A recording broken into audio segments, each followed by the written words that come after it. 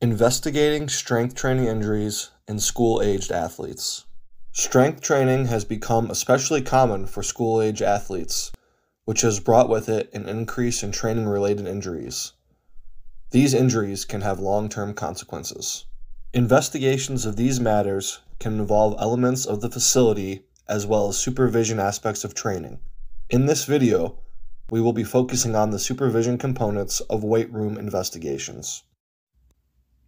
Injuries such as fractures and tears, as well as more severe or even fatal injuries, can occur as a result of improper technique, excessive training, or carelessness within the training environment. The following factors may be relevant to weight room investigations supervision, proper technique, appropriate exercise and or weight levels, equipment maintenance and inspection, user error, emergency planning and response. Proper supervision and establishing an appropriate training culture can prevent serious weight room training injuries among youth athletes. Factors for investigation may include the physical presence of coaches and trainers, as well as their strategies to monitor and maintain oversight of the athletes. The training and qualification of the coaches as they pertain to exercise mechanics, exercise instruction, organization strategies, and emergency interventions may also be relevant. In addition to proactive monitoring, an open communication channel between coaches and athletes can establish a safer training environment. Establishing a culture where athletes are comfortable reporting any discomfort or concerns during their training can enhance the overall safety of the weight room environment. Proper technique is the bedrock of safe and effective weight training. Investigations will often seek to determine if coaches implemented a tiered approach, where athletes progress through levels of technical complexity to ensure a gradual and systematic development of skills.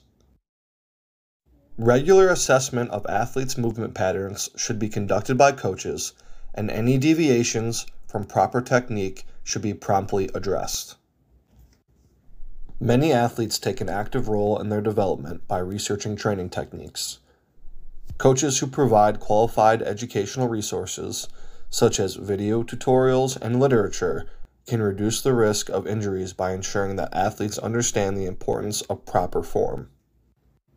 Appropriate exercise and weight levels. Pushing athletes beyond their physical capabilities can result in acute and chronic issues. Training programs that consider factors such as age, weight, training background, and muscular development can aid coaches in tailoring developmentally appropriate training programs. Initial health screenings and assessments can provide valuable insights for personalized exercise prescriptions.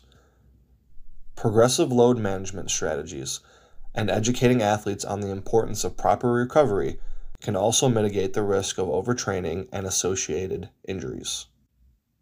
Individualized training plans should consider the developmental stage of each athlete with periodic program reassessments to account for growth and maturation. Coaches should maintain open communication with athletes and adjust training programs based on their feedback and evolving needs. The experts at Robson Forensic are frequently retained to conduct investigations when individuals are injured at schools, gyms, fitness clubs, and weightlifting facilities. The scope of our investigations will typically include an analysis of how this incident happened, the condition of the equipment and environment in which it occurred, and the way the school or facility managed the emergency situation.